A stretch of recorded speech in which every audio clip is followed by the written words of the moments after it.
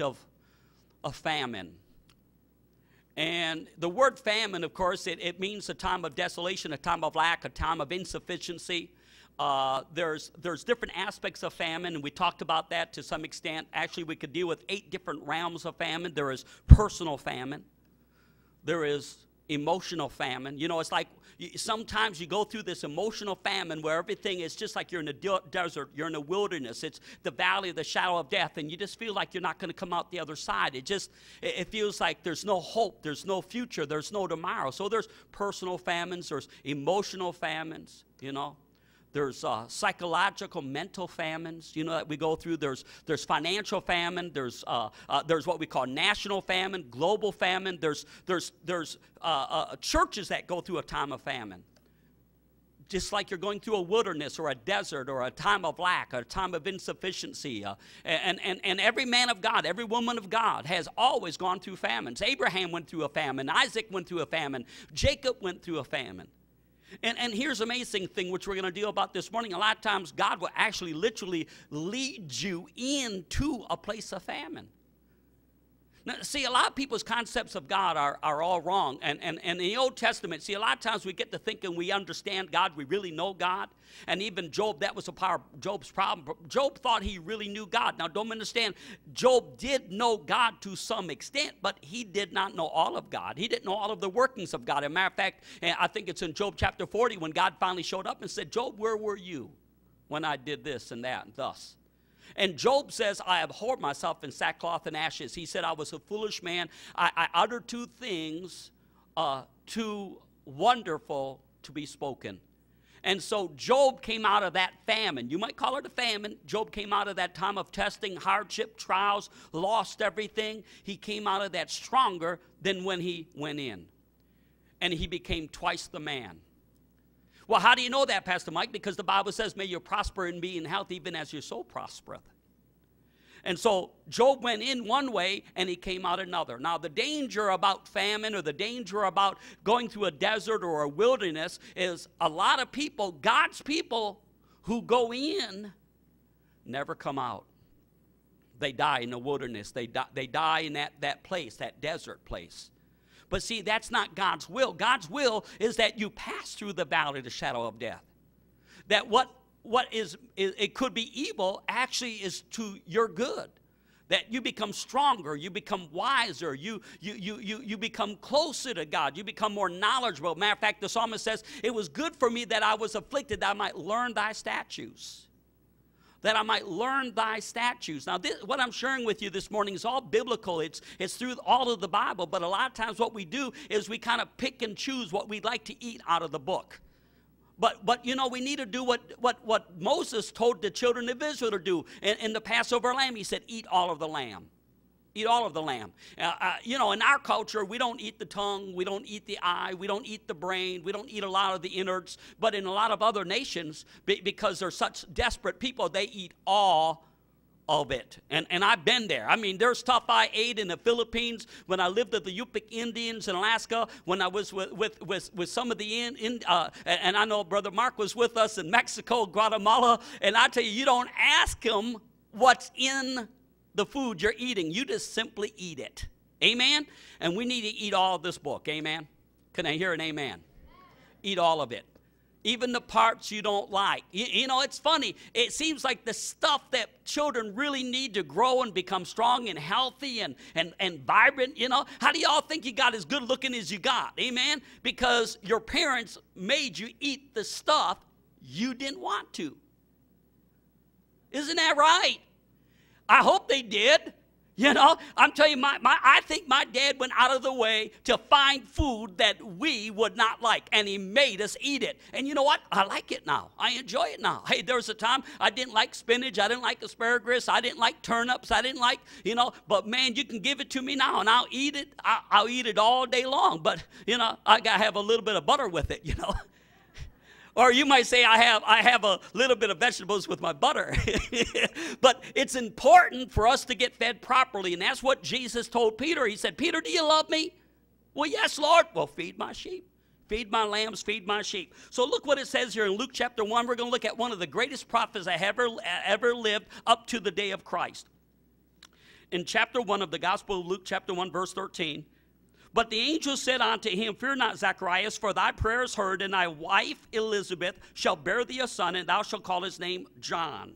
And thou shalt have joy and gladness, and many shall rejoice at his birth, for he shall be great. Now get a hold of this prophetic utterance over the life of John. For he shall be great in the sight of the Lord, and shall drink neither wine nor straw drink, and he shall be filled with the Holy Ghost, even from his mother's womb. Now, if we would stop the story right there, you'd say, oh, this is wonderful, this is marvelous, this is awesome. But what you need to understand is that what God is saying over John's life was not sufficient for the job to be done. There was something much more involved. He was filled with the Holy Ghost from his mother's womb. Now, don't misunderstand me. Praise God for the Holy Ghost. But here's the thing a lot of people have the Holy Ghost, but the Holy Ghost don't have them. See, a lot of people have Jesus, but Jesus doesn't have them.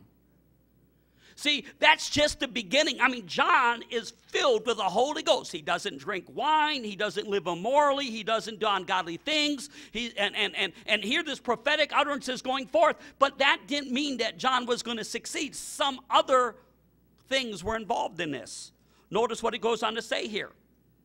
And many of the children of Israel shall he turn to the Lord their God, and he shall go up before him in the spirit and the power of Elias, to turn the hearts of the fathers to the children, and the disobedience to, to the wisdom of the just, to make ready a people prepared for the Lord. Now, so in other words, this, this man, John the Baptist, and we don't know a lot about him because he was so outshined by Jesus, but th- this man was one of the greatest prophets Jesus said that had ever lived.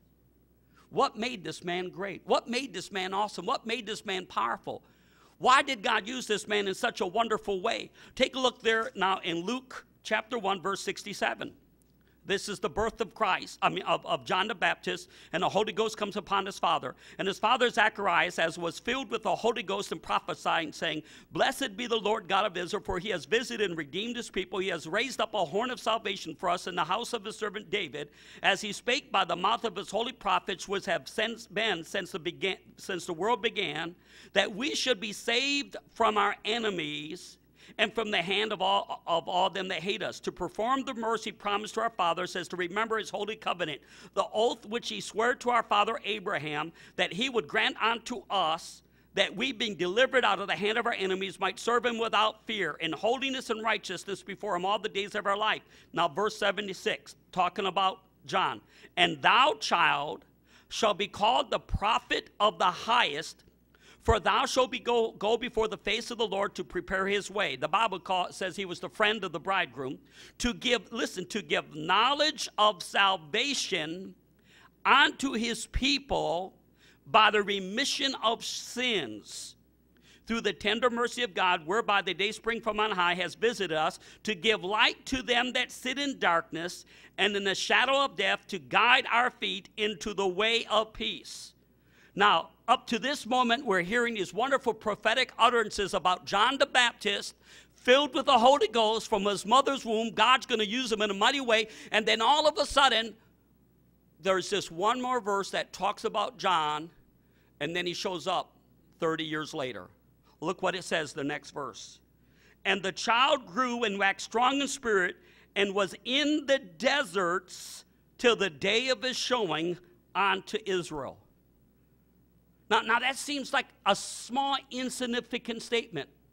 But here, the greatest prophet that has ever lived, and it says that in Matthew chapter 11, and God's going to use him in a mighty way. And how is God going to do it? He's going to do it on the backside of the desert. He's going to do it in the place of famine. He's going to do it in the, in the place of lack. He's going to do it in the wasteland. He's going to take this man into a place where normal people won't live. Uh, you know, what does that mean, Pastor Mike? It means that God had to take this man into a place where this man had to trust God in order to live. See, see we, we don't want to hear that kind of message.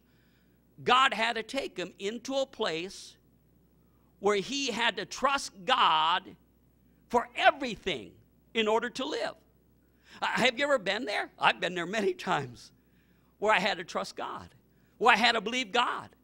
You know, the greatest victories that we like to boast about are, are, are really the lives in the lives of people, the most difficult times in our lives. You know, I, I don't know about you, but when, when if a lion would come out to devour me, I, you know, it'd test my faith like David. If a bear was to come out to test me, it, it, it'd be kind of a challenge to grab a grizzly or a, a black bear by, by the beard and to slay him. Goliath or King Saul chasing David all those years, or Shadrach, Meshach, and Abednego be thrown into the fiery furnace after they have been captive by, the Chaldeans and drug away from their home, or Daniel in the lion's den.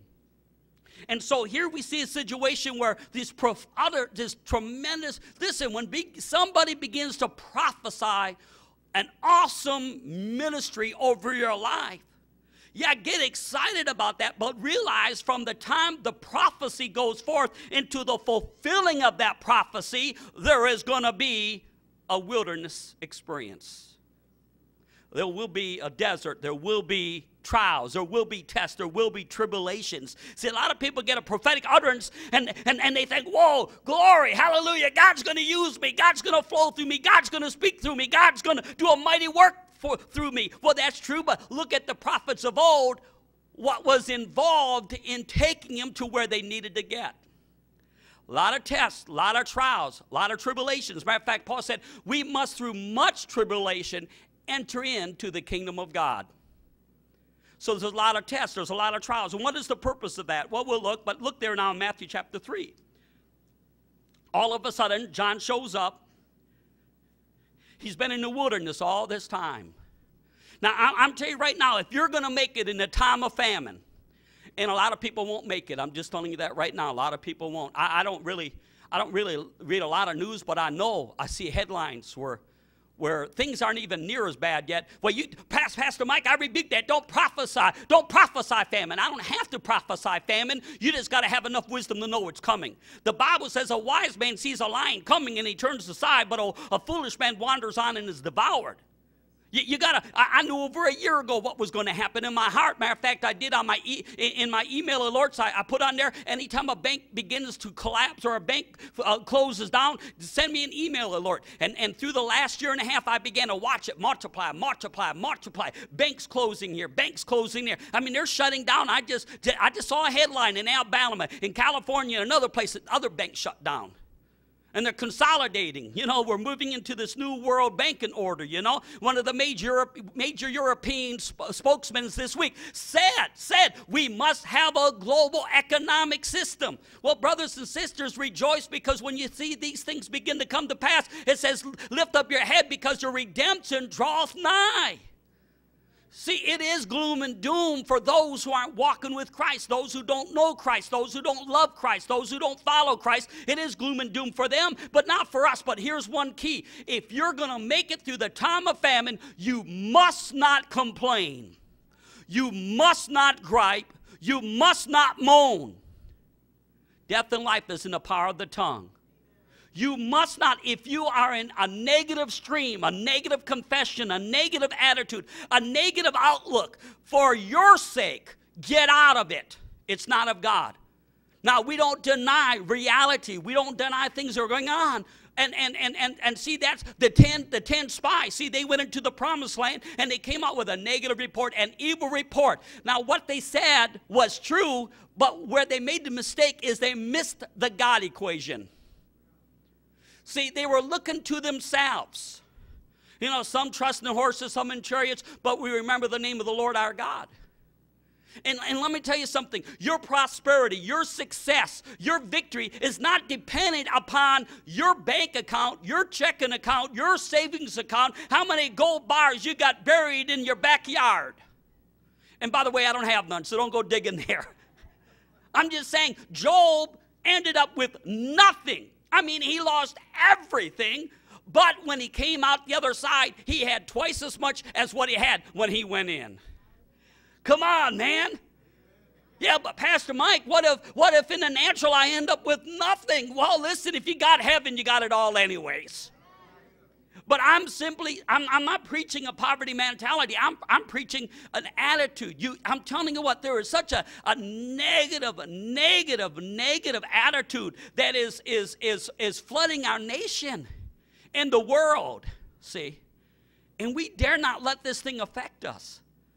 And, and you got to fight it. I mean, you got to fight by faith. You cannot murmur, gripe, or complain. Now, here, John the Baptist, as a young man, the Spirit of God takes him into the desert, out with the jackals and out with the, with, with, the, with the serpents and the snakes and the scorpions. I'm telling you right now, the Spirit of God within John the Baptist would not allow him to murmur, gripe, or complain. Hello? And not calling judgment.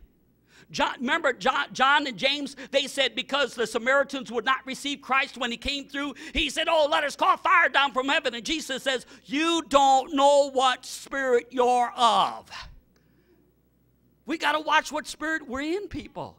See, and they were convinced. Matter of fact, Jesus said, They will kill you in my name.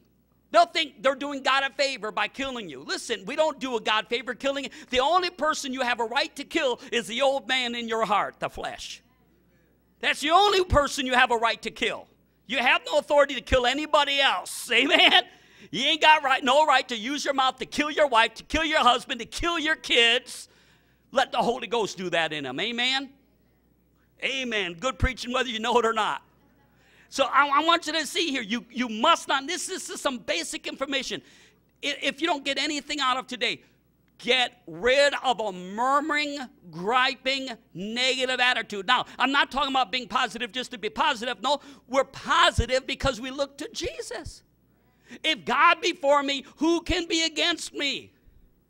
God's within me. God's my help. God's my hope. God's my rest. God's my peace. I told you this last summer, I went through the scriptures and I discovered over 1,200 types, names, and examples of what Christ does for us. Over 1,200. began to memorize them. You know, I'm still working on it. But I want you to get a positive attitude that God is with me. Why? Because I'm with God. His promises are true. He's faithful. He cannot lie. God is not a man that he should lie. So look what it says here in verse 1 of chapter 3. In those days came John the Baptist preaching in the wilderness of Judea. Now listen, he's still in the wilderness.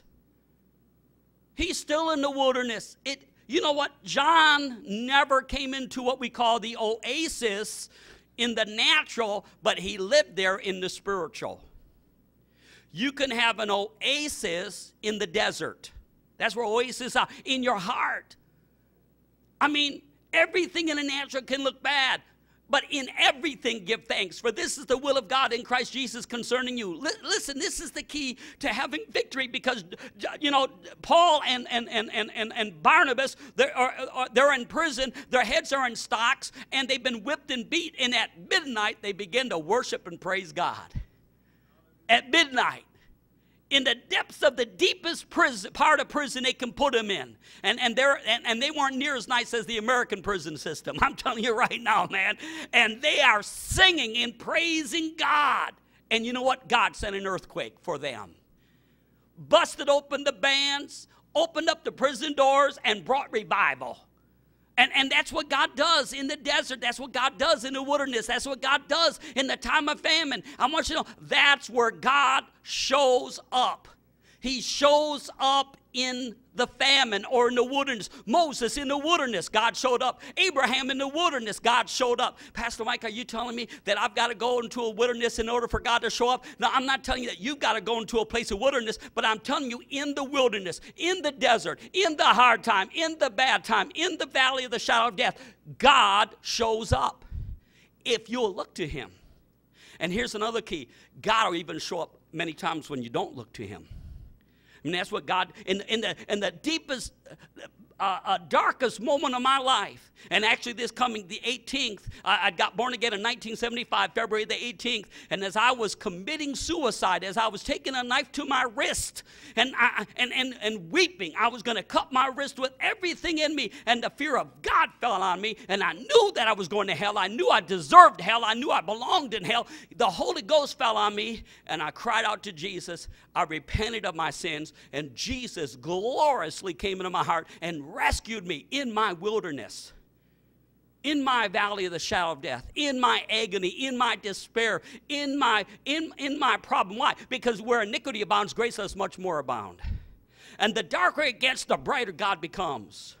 or the reality of who God is.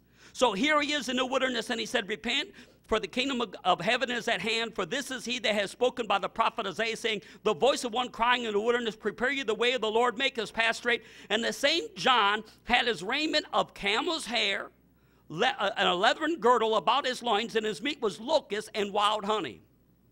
Now, why would God be telling us that? Because listen, you, you got to understand, y- your success is not dependent upon what you wear. What you wear doesn't make you spiritual. Amen? Now, what you wear can reveal where you're at spiritually. It can reveal where you're at spiritually, but what you wear doesn't make you spiritual. You know, if, if I wear minister's collar, it doesn't make me any more godly or any more anointed to the Lord if I wear a tie or if I don't wear a tie. Hello? I mean, it doesn't matter if I wear a Hawaiian shirt or if I just wear a suit. It, he was wearing, you know, I'm so glad that John was not setting up a, a, requirement of ministers. We all had to wear camel's hair, you know? Well, Pastor Mike, you're not a prophet of God. You don't wear camel's hair and you don't eat uh, locusts and wild honey, you know? No, that has nothing. It's simply saying, listen, you got to look to God. Now, look there, because Jesus didn't dress like that at all. See, I just love the contrast before, between Jesus and John. And that shows us the range of possibilities. You, you, see what I'm saying here? When we begin to set up a criteria based upon clothing or the cars we drive or the jewelry we wear, we're in trouble. See, there's a contrast. Here, John is camel's hair, locust, wild honey. Here, Jesus is. He ate, he drank almost anything, and he just nat- he dressed like everybody else did. So don't get caught up in this stuff. That's not where the power's at. That's not where people say the anointing's at. That's not where the Spirit's at. Now, notice what it says here. I'm going to show you this is so important. Chapter 4. Then was Jesus, this is right after he's been baptized uh, of John in the river Jordan, comes up, the Holy Ghost comes on him in the form of a dove. Then was Jesus led up of the Spirit into the wilderness to be tempted of the devil. Now, don't mis- uh, misunderstand. He's not tempting God, God the Father's not tempting, the Spirit's not tempting Jesus. It says, Let no man say when he's tempted, I am tempted of God. For God cannot be tempted with evil, neither tempteth any man. But he's led of the Spirit into a place of testing, trying. He's going to go through the pressure cooker. He's going to go through the furnace. And, and, and, and of course, when the metal goes into the furnace, it, it, it begins to separate the impurities. But you understand, there was no impurities in Jesus. There was none. Uh, he says, The prince of this world comes and he can find nothing in me. Now, you and I, we have impurities in our life. There's not a person, matter of fact, Paul said, I have not yet apprehended that for which I've been apprehended. Paul had impurities. When I say impurities, I'm not talking about open rebellion of sin. I'm saying there's things, there's, there's things that have been passed on generationally they have to be dealt with. There's things that have been passed on through wrong teaching, wrong training, wrong ideals, things we put in our eye gate, our ear gate, things that have come out of our mouth gate, out of the abundance of the heart the mouth speaketh. And when you begin to turn up the heat, when you begin to put it under pressure, when it begins to go through that valley, the shadow of death, what's going to happen is what's inside of you is going to begin to come to the top with all of us. It's going to come to the surface. Now, it's what you do with it when it comes to the surface that's going to determine whether you make it or you, uh, if you make it or, or, or, if you, or, or, or, or if you break it, if, if you survive or if you die. See? When, when the stuff begins to come to the top, you need to begin to scoop it off and get rid of it. See, uh, the natural thing, when we get under pressure, we begin to with this stuff beginning to come up, and a lot of stuff's going to be coming to the surface in the next couple years, I'm telling you right now. A lot of junk in our society is going to come to the top. And you can play the blame game. If it wasn't for that husband of mine, if it wasn't for that wife of mine, if it wasn't for the government, if it wasn't for, you know, the Democrats or the or the Republicans or the liberals or the conservatives. No, no, that's the the issue is nobody else, it's your heart. Are you going to deal with your heart? See, David had garbage that came to the surface. David dealt with his heart. Yeah, it took a prophet of God to help him. A prophet of God had to confront him. And a lot of times that's what apostles, prophets, evangelists, pastors, and teachers do. They'll confront you with the word of God, but then you've got to deal with it. See, if David, see, Samuel tried to deal with King Saul. Saul had pride.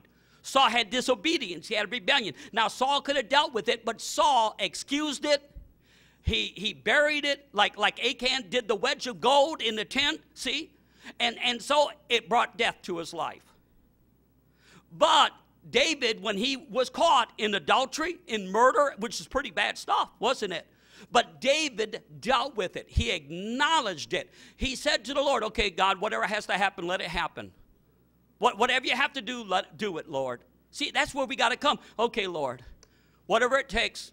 Now I'm talking to God. I'm not inviting the devil. You say, well, Pastor Mike, that's a dangerous prayer because don't you know the devil answer that? Well, wait a minute. If I ask the Father for, for, for, for, for the Holy Spirit, he's not going to let me get a demon.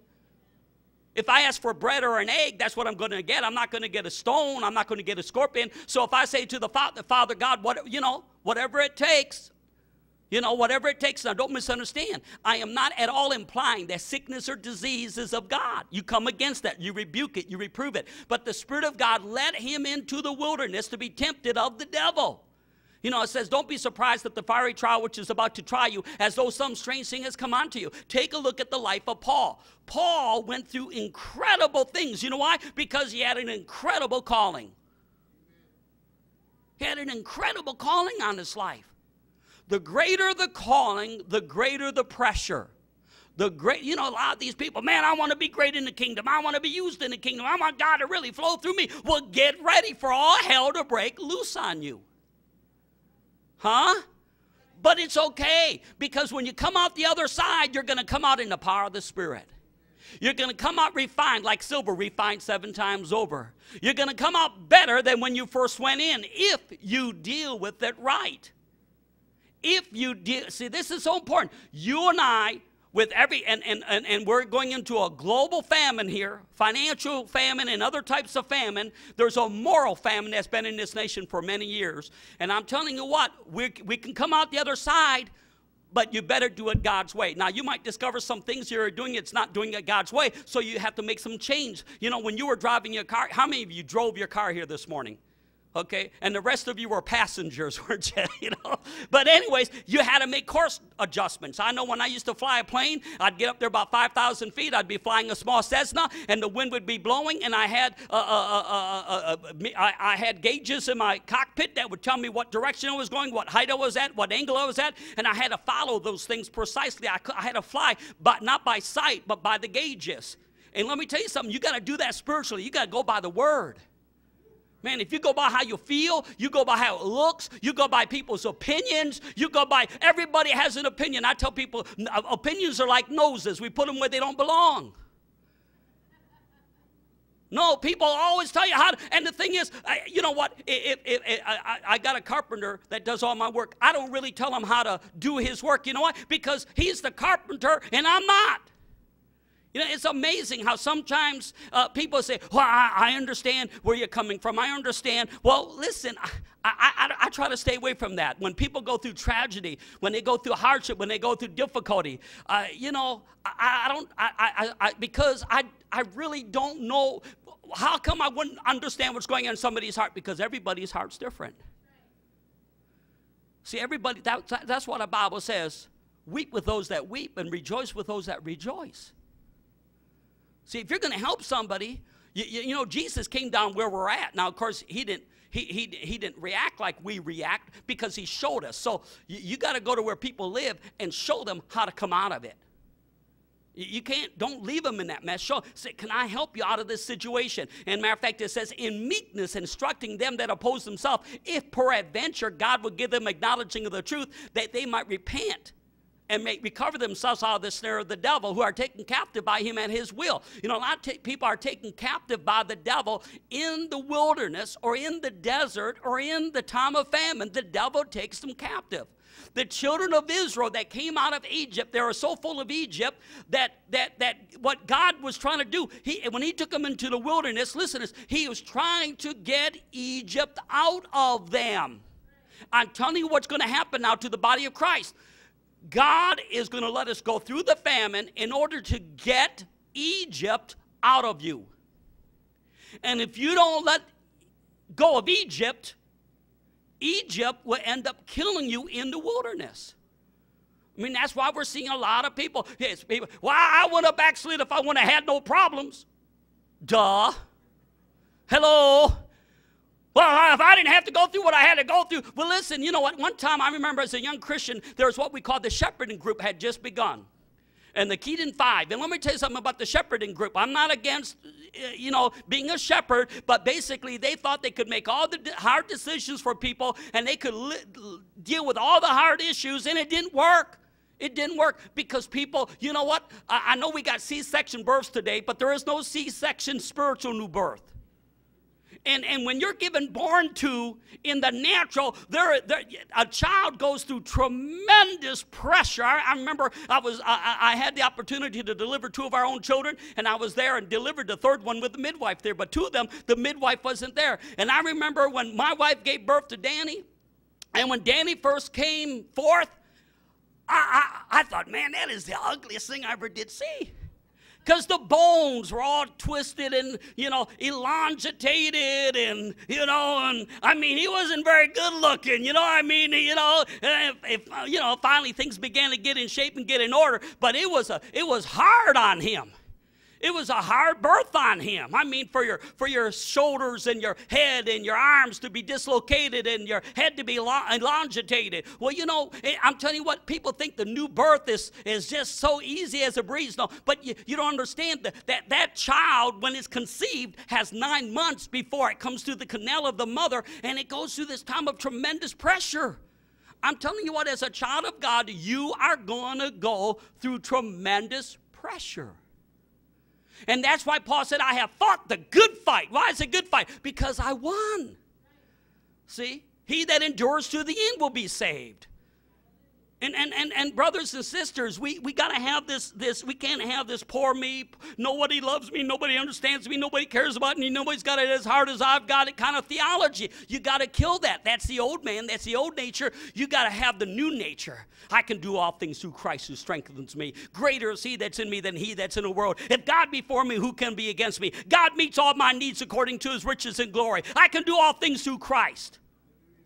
You know, this spirit of faith spirit of tenacity. While everybody else is walking around looking like they're dying, you're walking around. And, and I, am not saying that you, you're insensitive to people's needs. Don't be laughing and joking around people who are weeping and wailing and crying.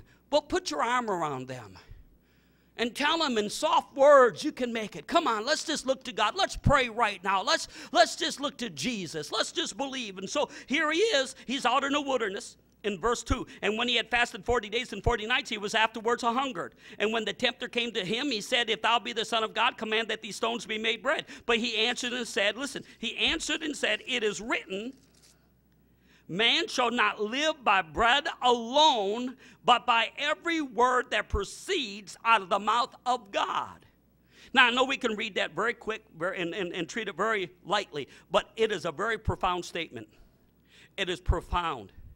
Because I'm telling you what, Jesus is in the wilderness. He's out there in the desert 40 days and 40 nights. He hasn't had no physical substance. And in the wilderness, the first words we, we hear out of his mouth in the famine is this in the famine, this is so important. It is written. See, he, he, he didn't say, well, the Word of God says. Well, isn't that what it means? It is written. No, I think we need to take a lesson here.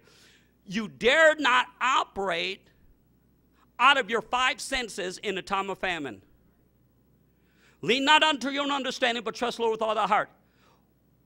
If you can't say anything that's godly, don't say nothing at all. It's just better to seal your lips. What we need to do in the time of famine, it doesn't matter if it's emotional, financial, spiritual, uh, uh, dealing with your relationships, dealing with your job, dealing with your finances, you and I must do what Jesus said in the time of famine. It is written.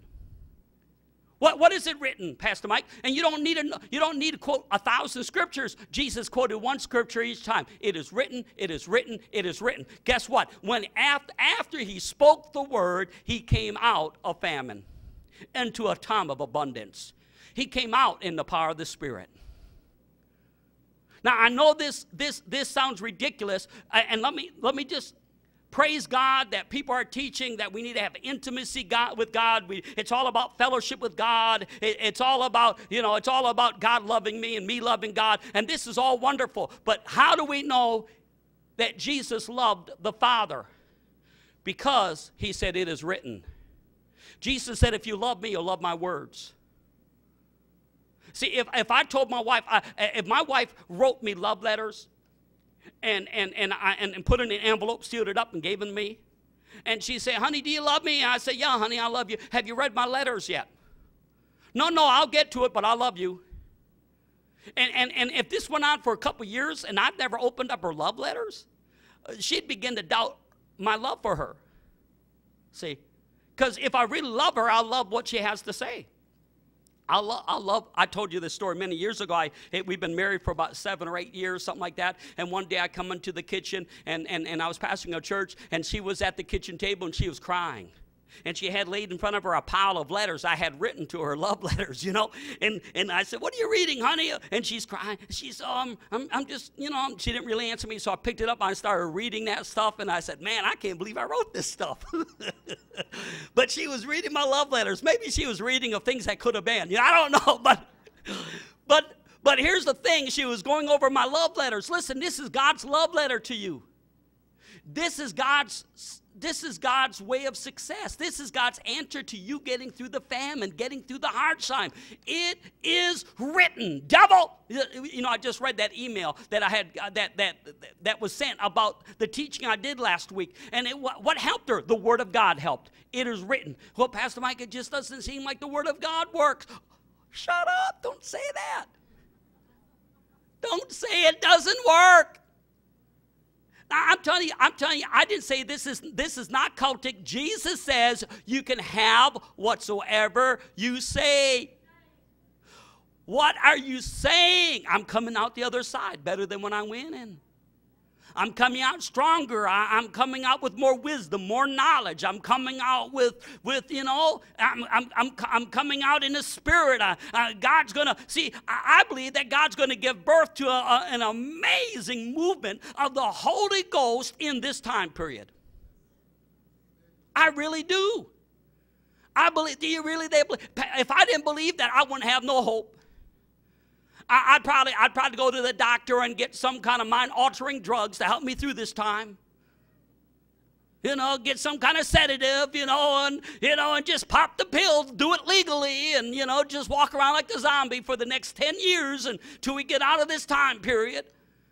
No, no, I have great hope that God is going to do something amazing in my life as long as I'll follow his directions.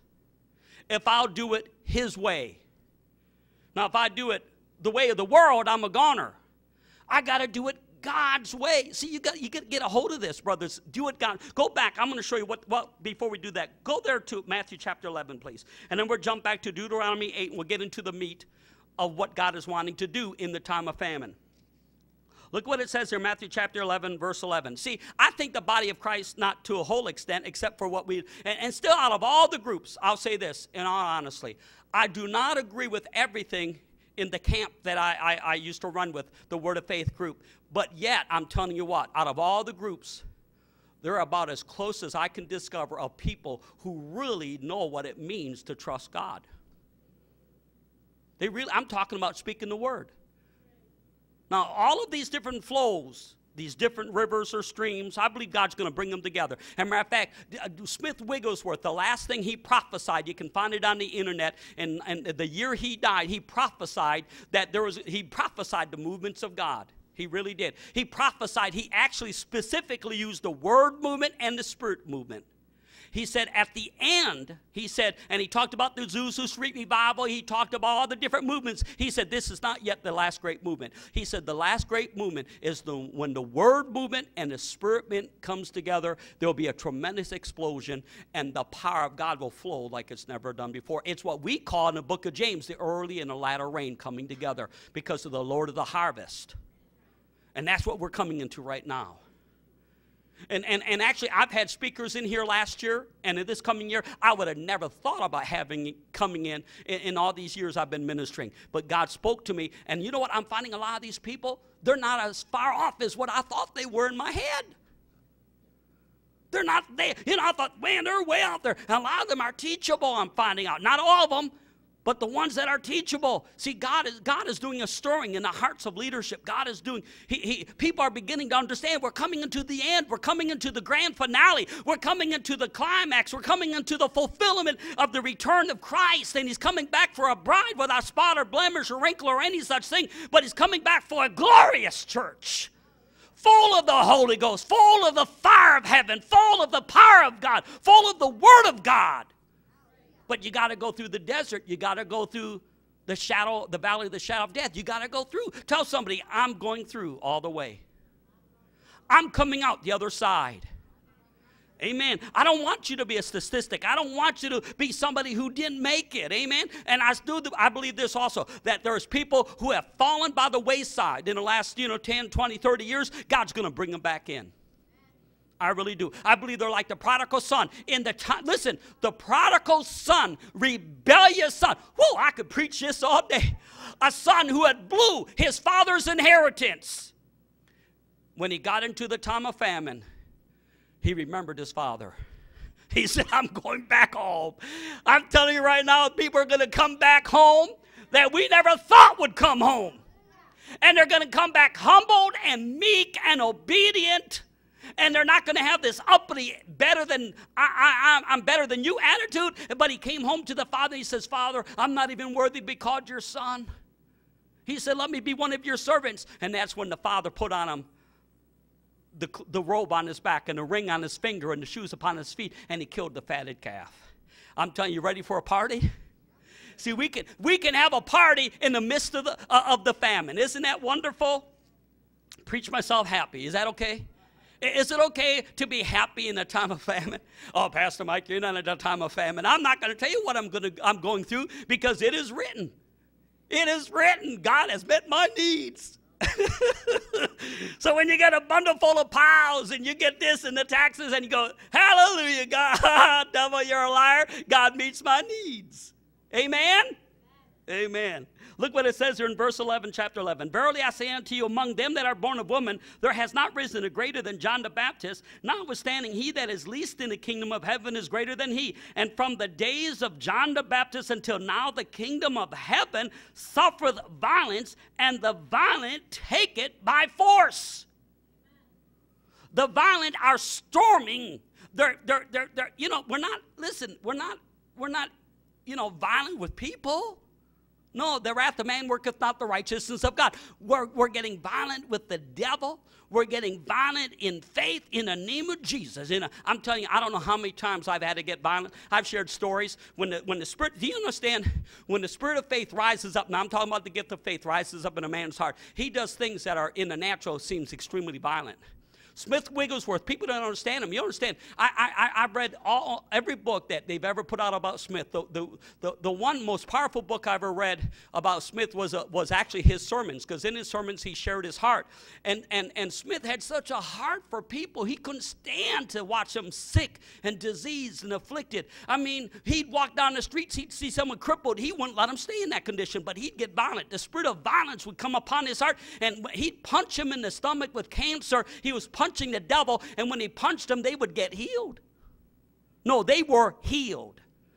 So don't you dare be punching somebody in the stomach unless you know it's a spirit of faith. I, I, I broke my foot here some years ago, and I told you the story. I was laying in bed, my foot's all swollen up, and the Spirit of God spoke to me and said, What are you doing laying in bed? I thought you believed I'm he- you're healed. And the Spirit of faith rose up in my heart with a broken foot, got my broken foot back, my swollen foot back into my shoe, and my wife was, was doing the laundry in our, in, in our bedroom, and the, and the Spirit of God rose up in me, and I took my foot because I about blacked out when I stood on, and I slammed my foot down as hard as I could on the floor. I said, In the name of Jesus, I'm healed. And I fell back on the bed. And my wife's watching this. I did it the second time, I fell back on the bed. I did it the third time, I fell back on my bed. My wife said to me, You're going to make me sick. I can't watch you do this. I did it the fourth time, I fell back on my bed. The fifth time, I slammed my foot down as hard as I could. It was instantly healed. The swelling was gone, and, my, and, and I went back to work. But see, that was a gift of faith that rose up in my heart. See, I'm telling you right now by the Holy Ghost, the gift of faith is about to be released in the body of Christ. That that which has happened in the past, would say the Spirit of God, was just but the beginning, the seed of that which I'm about to do in the future. For those who open their heart and their mind and would say, Yes, Lord, I believe I receive, they shall apprehend and they shall take a hold of that which has been prophesied. For they shall go forth like mighty men and women through the land. They will leap over the wall and they will run through a troop and they will not become weary. For I will fill them with the spirit of wisdom and might and power, and the enemy will flee before them. Are you ready for that gift of faith? In the time of famine? Are you ready to be filled with a faith that does not know the word no or you can't? Huh? You know, sometimes when you're operating in that realm, you got to watch it because people don't understand where you're coming from. See, sometimes they think you're arrogant, but it's the spirit of faith rising up in you. It's like David when he went to face Goliath. His brother thought he had a spirit of pride, but actually he was a humble young man that was surrendered to God. Now, notice what, go back there now to Deuteronomy chapter 8, please. See, and, and actually, Christ, all that Jesus was doing was quoting something that, the, that was quoted by the Spirit of God to the children of Israel. Notice what it says in chapter 8 and verse 1. All the commandments which I command thee this day, Deuteronomy chapter 8, verse 1, all the commandments which I command thee this day shall be observed to do, that you may live and multiply and go in and possess the land which the Lord swore unto your fathers. And thou shalt remember all the ways which the Lord thy God led thee these 40 years in the wilderness. Now listen, so he says, listen, I, I, I, this has been a, a, a, the school of hard knocks. This has been a learning time, a teaching time, a training time. Do you know, a lot of times we don't understand this. We're just going through, we're, we're not out of school yet. You know, I, I've been pastoring for almost 30 years, and I'm finding out I'm still, I'm still in school. God's still trying to teach me. I, I know Brother Hagin, it, it, was, it wasn't into his late 50s that God began to really give him a voice in the body of Christ. Really didn't really give him a voice into his late 50s. Now, I, I, granted, God can, be, can use you as young man. He did me as a young believer. But I'm talking about to a place to where you can really be in leadership and help men and women fulfill their divine call and their divine destiny. And notice what he goes on to say here. He said, I led thee in the wilderness, why? For 40 years to do what? To humble you. To knock the pride out of you. Uh, or, or let me say it this way the self sufficiency. Um, you, you, know, almost every, every, even in our schools today, even in Christian schools, they're teaching people you got to believe in yourself. You got to believe in yourself. No, I'm not saying you should have a low self esteem, but you know what Paul said? We are those who have no confidence in the flesh. See, as long as you think it's about you, you will never get out of the way. It's not about you, it's about Him. I, I don't, see, I don't have to have confidence in Mike Yeager. I have confidence in Christ who is in Mike Yeager. I got to hear, because I don't have no confidence in Mike Yeager. See, the, Moses, matter of fact, do you know what Paul said? Paul said, When I came to you, I came to you in fear and trembling. Why would Paul say that? Because Paul says, I don't trust myself. He said, But I trust the one within me. See, I don't trust none of you, but I trust the Jesus in you. And I see that Jesus in you. I see that Jesus in you. Now, maybe, maybe, you know, 10% Jesus, 90% flesh, or 50% Jesus, 50% flesh, but I see, I see Jesus in you. Tell your neighbor that. Thank God I see Jesus in you. And here all the time you've been telling him, I see the devil in you. How come we're always so negative? I see the devil in you. Well, I'll just say, how many times you, man, I see Jesus in you. You know, when, you're, when, when, you, when you see your wife or your husband praying or reading the Bible or, or passing out a track, or it's amazing, you know, because we're, we're, we're, we're trained in that way. We, we speak the negative, but not the positive. Now, don't lie, you know.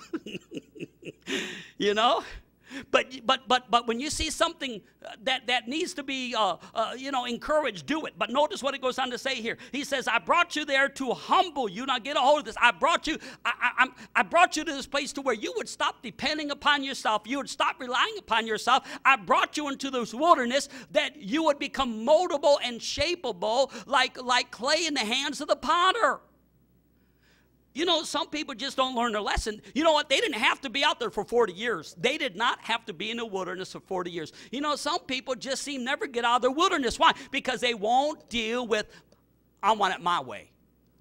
See, you know why Jesus only spent 40 days in the wilderness? Because his attitude was, Father, not my will be done, but let your will be done. Lord, when it comes to this job, when it comes to this house, when it comes to whatever your will is, when it comes to pastoring this church, when it, see, a lot of people, the reason why they didn't come out of the wilderness because they said, let our will be done. And God said, No, you got it. But see, Moses, he got to the place after 40 years in the wilderness. Before this, he said, Not my will. He said, I tried it. I tried, I tried to deliver the Israelites. You know what? You can spend 40 years in the wilderness trying to do the will of God.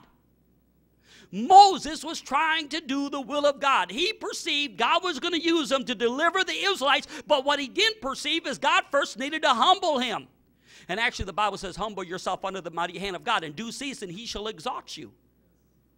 So, you know what? Uh, you know, where there's, there's, there's, there's, there's pride and there's, there's strife and there's confusion.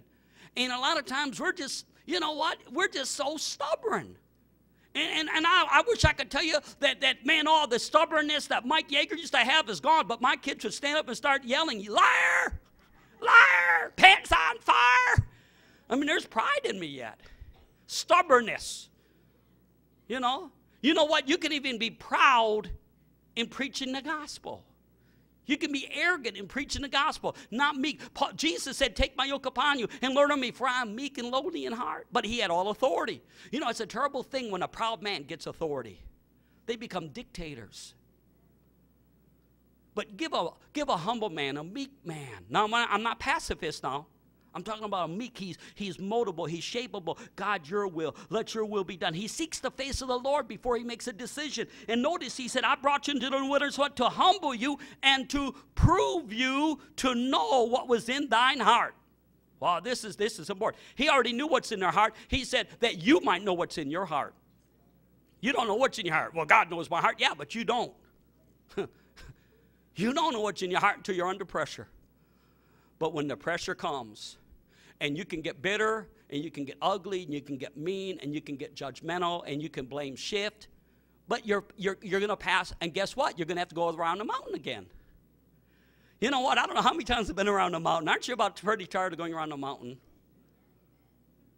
You know, always blame shifting, always saying it's their fault. It's not my fault. It's her fault. It's his fault. It's, it's, it's the government's fault. It's, it, it's those preachers' faults. You know, it's the church I went to's fault. No, no. Listen, you, you don't, you don't, while everybody else is, is, is drowning in self-pity and, and moaning and griping and, and, and they're not, they're not, they're not going to come out of the wilderness. You, you don't, listen, you, you can live in that place of, of, of, of, of victory because you're tired of going around the mountain. Okay, God, I'm tired of fighting you. I'm not going to fight you no more. I'm going to do what you said. That's where a lot of, that's where, you know, that's why America's in big trouble right now because it hasn't been doing it God's way. And you know what they've decided right now? They're even going further away from God. And, and so he says, I, I brought you into the wilderness to humble you, to prove thee, to know what was in thine heart, whether thou wouldest keep his commandments or no. Well, Pastor Mike, we don't have no commandments in the New Testament. What are you talking about? Jesus, the last thing he said in Matthew 28 go and teach all men everywhere to observe all things I have commanded you, and lo, I am with you even unto the ends of the world. Go teach all men. What has he commanded us? Well, I, I, studied one time. Over, I found over 150 commandments that Christ gave us, over 150. But here's a commandment love your neighbors, you love yourself. There's a commandment. Forgive, or I won't forgive you. That's a commandment, huh? I mean, see, I'm telling you right now, you, you got you gotta do these commandments. How am I going to do it? By looking to Christ, by looking to Jesus. Lord, I, I, I can't love that person without your help, so help me, Lord. See, the, the problem is not, is, it's not that it's not that you don't acknowledge lack in your personality. You acknowledge it, but then you look to Jesus and you draw from him what you need to do it. See, I, you know, I, I, I, was, I was, when I, I grew up, I never was taught how to be a public speaker. I'm not saying I'm a good public speaker now. I was never taught how to be in leadership. I was never taught how to be a pastor. I was never taught how to be apostolic and start churches. I was never taught any of these things. I was never taught how to put up a building and how to do all of this different stuff. You know what I had to do? When I came to these places where I knew I, I, didn't, I didn't have the ability, I had to go, God, help! I, I need you now because I don't know how to be a good daddy. If I was a, if I, if I become like my father was, that's the end of my kids and my wife and my marriage. If I'm just like my natural earthly daddy, I'm going to be like my heavenly daddy. So, Father God, show me. And the first thing he does is he takes me to the book. He says, okay, here it is. This is how you should be a father. This is how you should be a husband. This is how you should be a wife. This is how you should be a pastor. This is how you should be a believer. This is how you should be a, a disciple of Christ. Right here. And he says, I brought you into the wilderness in order that you might be humbled and acknowledge you need to be a doer of my word. Listen, you're never going to come out of your famine unless you become a doer of the book. Be a doer of the word and not a hearer, only deceiving your own selves. Now, there's times I came into a, a, a place of famine. I knew what to do, but I got this attitude. I just wasn't going to do it. And it got worse than I, I, I remember. This is a true story. I remember Brother uh, Albert Willis was coming by, and Albert Willis is a real man of the word. And he lives in a realm a lot of people don't live, and they think they can just step into that realm, but they don't understand they don't have the same commitment he has. But anyway, so he was coming by, but I remember I got a little bit of chest congestion. And I knew I should have spoke the word. I knew by the stripes of Christ I'm healed. But I remembered as a little boy, because I had all kinds of sinus problems and congestion problems when I was a little boy, I remember my mom putting the Vicks vapor rub on my chest. And, and, and, and, and I seen these commercials about Robitussin, you know, and the cough syrup, you know. And, and so I thought, well, you know, I could stand in the word, but I, I, I just, I, I just want to experience that. It sounds stupid, but this is the thought that got in my head. I just want to experience Vicks vapor rub once again on my chest as a little boy smelling it laying in bed.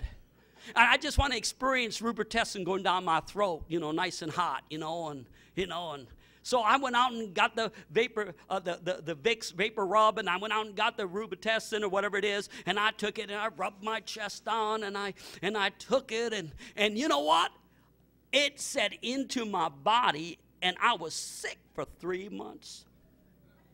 And Albert Willis was here during that time, and I told Albert what I did. He just laughed at me. He said, Well, you got what you wanted, didn't you? He said, You've been experiencing it now, vapor rub and that cough medicine and that decongestant. You've been experiencing it and just having a wonderful time for the last three months. Now, it's one thing if you don't know better. You've never been taught. A lot of people don't, are, are, never taught how to get victory. They're never taught how to overcome. They're never taught how to, how to walk on the water.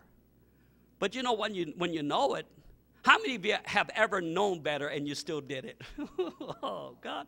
But aren't you glad for His mercy? So he said, I did this to humble you, that to prove you, to know what's in your heart, that you keep my commandments. Verse 3, he says it again. He humbled thee and suffered thee to hunger. Now, up to this time, it's all been bad news, but now notice, here God steps in. What was he going to do in the famine? Listen what he did.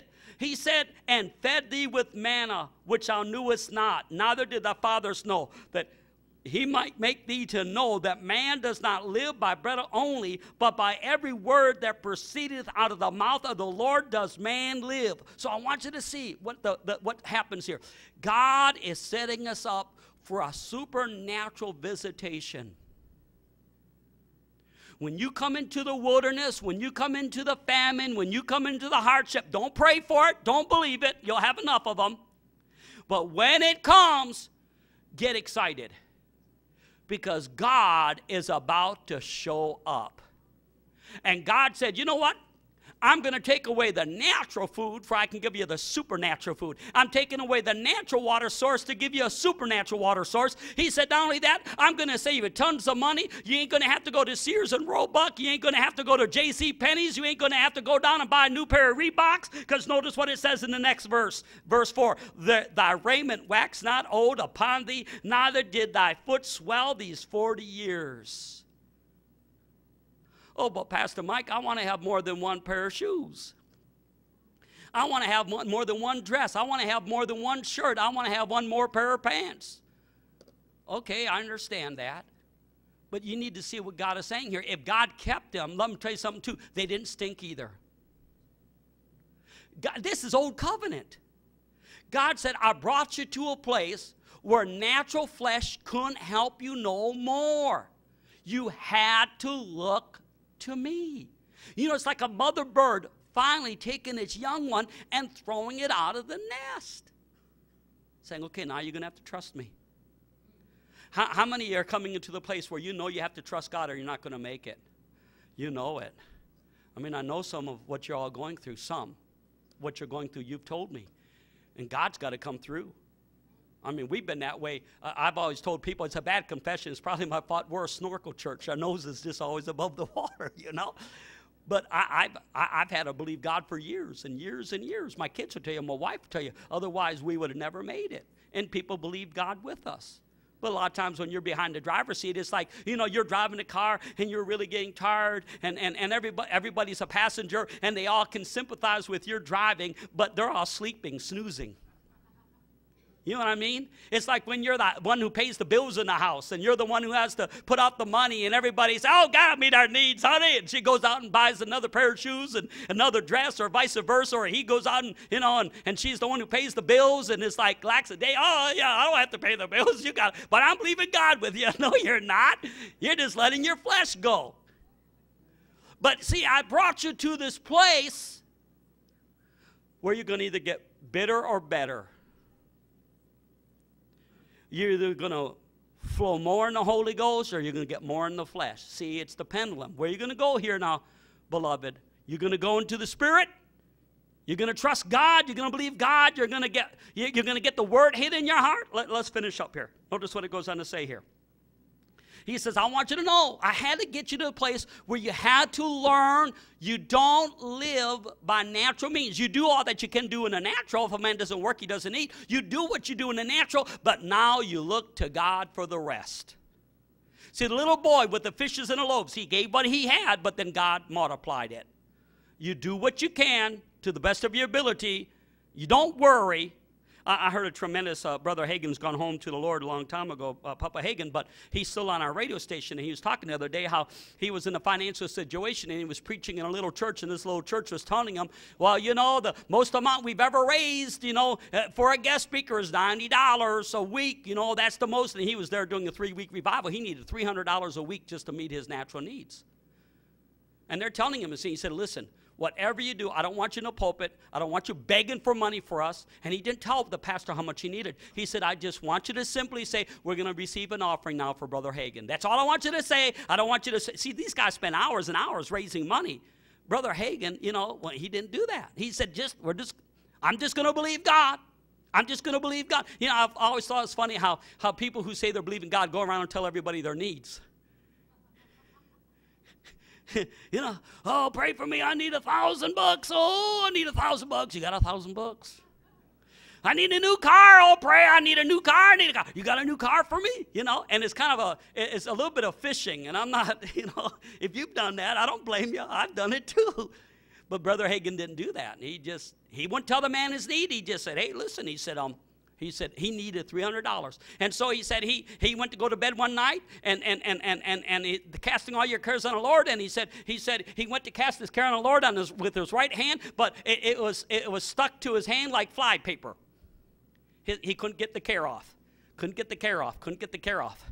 And so he, he tried to go to sleep and he woke up and that was in both hands. He couldn't get got to get the care off. He couldn't get, you know, it was stuck to his hands like, like, like fly paper. Couldn't get the care off. He knew he had to get to the place to where he could finally give it to the Lord. When I say not having an I don't care, I don't care if I don't pay the bills. See, don't, don't get that right now. If you owe the credit card companies, you owe the banks, don't get this attitude. Don't be a thief. I don't care if I pay them. They're a bunch of crooks, anyways. 32% interest. Well, how do you know that, Pastor Mike? Because that's how I've been talking. Bunch of crooks. You know, no. What you got to do is you got to cast your care. He said he finally got to the place to where he got a release. now, is it going to try to come back? Yeah. So what do you do? You got to go back. You got to go back to war. See, I'm talking about prayer. We, that's a whole nother sermon, man. You got to fight the good fight in the realm of prayer. I mean, you got to fight that spiritual warfare in prayer, man. And I'm telling you, you can't believe I've spent many more hours walking the floor. But you know, a lot of times preaching is but the tip of the iceberg, or it should be, of a minister's life. I mean, I, I, I would, I, I, you know, there's been times I average, I'm not bragging, I have averaged sometimes, you know, 40 to 50 to 60 hours a week in prayer for a 90 minute message. And you know, if you spend 40, 50 hours a week in prayer, it's kind of hard to shut up after 90 minutes. And then, and then, and then, of course, you don't say, people come to you, oh, Pastor Mike, we, we really need to pray. We need to really pray. And I go, yep, I know it. Yep. Yeah, because I know it. Amen. It's like saying, we got to breathe. We got to breathe. Well, hello? And let me tell you, I'm, you know, look what it says here. He says, Thou shalt also consider in thine heart that as a man chasteneth his son, so the Lord thy God chasteneth thee. Oh, God doesn't chasten us still. Oh, we'll get into that tonight. Says that the Lord doesn't chasten you. He said, You're, you're, you're, you're an illegitimate child. Yeah, you're going to go through times, it is times of chastisement. Why? He's trying to get you in the Word. He's trying to get you in the Word. He's trying to get you in prayer. He's trying to get you to come to Him. He's trying to get you to look to Him. He's trying to get you to reach out to Him. But they've made it so easy in our society to reach out to this, and this, and this, and this, but God. But what's going to happen? Listen, what's going to happen? You know what? Do you know why you can get so many results when you go to third world countries and getting people healed? They have nowhere else to go. That's the simple fact. They're living in a wilderness. They're living in a desert. They're living in a place where there is no doctors, there is no hospitals, there is no medical society. And he only wants you get it out of the wealthy. And so when you go and you preach, by his stripes you're healed, they grab a hold of it. They run with it because they don't have anywhere else to go. Listen, I'm just saying me personally, personally, I never told you that's why I've never had health insurance. I've been offered it. The first church, uh, second church I pastored, Only God Church, they paid for my health care. My wife and I were just married. I made them cancel it. I said, You keep the money, don't need it. Now, why would you do that, Pastor Mike? And my wife was in agreement. I wanted to keep myself in the place where I had to believe God. And He's always helped me. Now, don't you go canceling your health insurance because you might need it. Hello? Don't you be condemned. But I'm just telling you, we're going to get to the place. Do you know? I'm telling you what, right now, pray for wisdom for those in authority. Because right now, I don't know if you know this, but they're trying to pass, it's called a Freedom and Choice Act. And that's where abortion is going to have to be practiced across board to every state including private hospitals, doctors, nurses. Listen, the, the, there's a lot of Catholic hospitals, there's a lot of Christian private hospitals in America, a lot of them. They take a lot of the weight off of the regular secular hospitals. Listen, they came out this week and the Catholic authorities have said this if they pass this Freedom and Choice Act, they are shutting down their hospitals. St. Joseph's, a lot of these, they're shutting down. No, we're talking about where a lot of people are getting all kinds of help. What are they going to do? Listen, this is what we're going to do. We're going to have to begin to believe God. You're going to have to, whether you like it or not. You know what? I really don't want to trust God a lot of times. I really don't. I don't want to be in that pressure cooker. I don't want to be in that desert. I don't want to be in that wilderness. But you know what? It's just like when I was a little boy. I didn't want to. I didn't want to eat my turnips and my broccoli and my and my spinach. I didn't want to eat it, but I'm glad I did. You're going to have to grow up, whether you want to or not. Amen. You know. You're going to have to be pushed out of your little nest. Amen. Well, look, look, look what it says here. Thou shalt also consider in thine heart that as a man chasteneth his son, so the Lord thy God chasteneth thee. Therefore thou shalt keep the commandments of the Lord thy God to walk in his ways and to fear him. Verse 7 For the Lord thy God bringeth thee into a good land, a land of brooks of water, of fountains, of depths that spring out of the valleys and hills, of land of wheat and barley, vines, fig trees, of pomegranates, a land of oil olive and honey, a land wherein thou shalt eat bread without scarceness. Thou shalt not lack anything in a land whose stones are iron. And, and, and, and, and out of the hills thou shalt mayest dig. But listen, it goes on and on and on. It, it, when, when is that, Pastor Mike? As you come out of your wilderness. See, that's revival. That's revival, brothers and sisters. Are you ready for that land of promise? Now there's a place where you still got to fight, you still got to wrestle, you still got to defeat. But listen, you're coming out of that scarceness, you're coming out of that lack, you're coming out of that poverty, you're coming out of that famine into this, this land of abundance of milk and honey and wheat and oats and barley and vineyards and flowing streams and, and bread without scarcity. I mean, you're coming into a place of, of victory. Uh, you know, I watch, I watch people who've gone through this. I watch people go through the hard times and then they've been faithful and they've been obedient. And they've done the will of God and they come out and then they, they just, I mean, it's just like a rocket. They head to the stars and everybody looks and says, Oh, I want to be just like that. Well, you don't want to go through what they went through though. See, nobody talks about the years that Brother Hagin had to drive his car and his tires had no thread at all on them. He drove his car for years because he didn't even have enough money to get to get new tires. He drove his car with nothing but just just bald tires. Just believing God that they weren't gonna gonna have a flat. Just believing God to, to, to you know just you know. And he was faithful. He didn't grumble. He didn't gripe. He didn't complain. He didn't moan. He didn't groan. Well, I'm sure he did at times, you know. But the thing is, is that he he kept us God's will, God's will, God's will. I can do it. I have it. God said it. And you know what? And God finally brought him to a place where he just came into this time of such amazing, I watched it. Amazing, amazing influence in the body of Christ. And because of his faithfulness, there is thousands of churches now across the world of the students that have come through his Bible school. And that's just one man. That's not including Oral Roberts. That's not including uh, other men of God that have walked with the Lord. But they had to go through that time. Now, how long do you want to live in the wilderness?